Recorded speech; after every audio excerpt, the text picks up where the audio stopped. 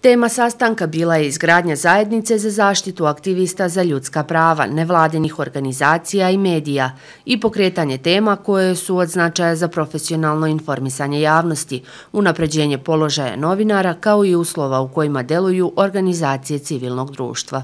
Postoje izvesni pritisci e, na civilni sektor, e, na medije sa različitih strana povodom različitih dešavanja, i verujemo da bi svakako sastanak u Pripolju sa lokalnim predstavnicima civilnog sektora i medija, odnosno novinara, mogli da daju značajan doprinos na ovu temu.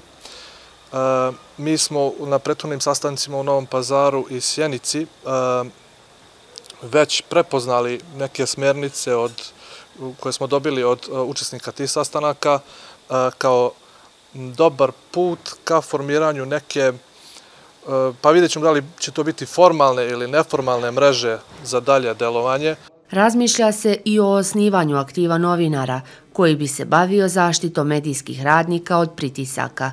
Snaga međusobne saradnje, solidarnosti i podrške različitih organizacija i medija u Sanđaku dokazana je tokom porasta broja obolelih od koronavirusa u junu.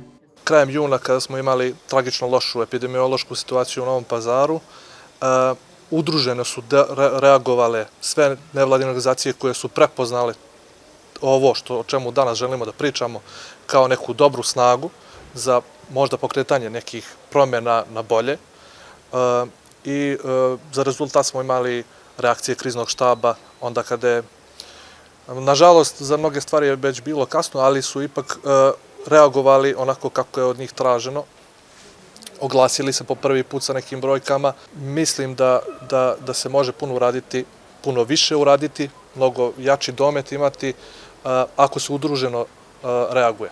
Nakon Prijepolja planirana je organizacija sastanka u Tutinu, a pored okupljanja nevladinih organizacija i medija, planirano je i formiranje javne elektronske baze podataka iz arhive Sanđačkog odbora, koji se odnose na tranzicijonu pravdu i suočavanje sa prošlošću.